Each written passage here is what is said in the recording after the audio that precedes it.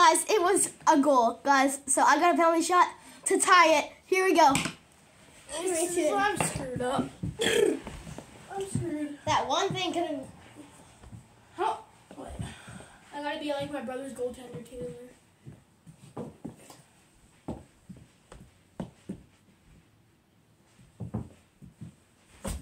Oh, I missed. Oh, let's go. Slide, slide, slide.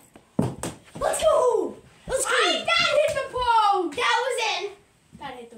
Guys, the ref. Guys, that, uh, that that's the ref. He, he knows that wasn't, so let's just chill.